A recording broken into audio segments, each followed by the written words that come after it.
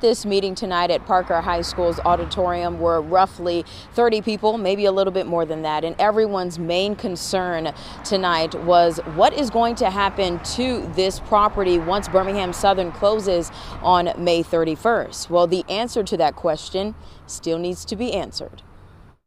People living in Bush Hills, Smithfield, Fairview, and College Hills neighborhoods aren't holding back on their concerns on what will happen to Birmingham Southern College after it closes next month. And I can be in all the universities and colleges to step it up. But what happens to us? Mm-hmm. What happens to the community when everybody's? Questions everybody asked are reasonable, and people who live in, in the neighborhood do need to know these things. Birmingham Southern College's Board of Trustees voted to close the school because there wasn't enough financial support from state officials when the college asked for a $30 million loan a little over a year ago. Tonight, Representative Juandalynn Givan, Birmingham city officials, and others want to help ease the mind of those people who are worried, like Pam Frawley, whose father taught at the college for three decades. At this point, I think there aren't a lot of answers, and that's not their fault.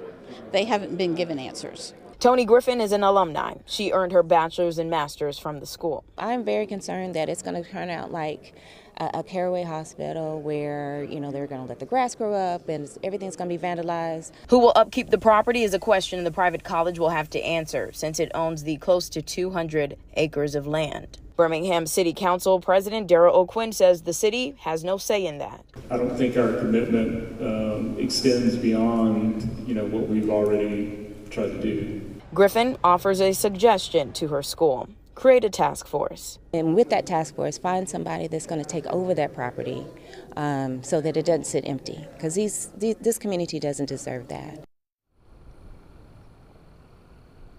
Uh, there were some people who left the meeting tonight with mixed feelings, some wanting to see a investigation done into the school's finances, and others are optimistic that someone will buy this property. Now, Juandalynn Givan did tell everyone at this meeting tonight she invited the president, Daniel Coleman, to be a part of the town hall, but she says he is meeting with parents and students and couldn't make it.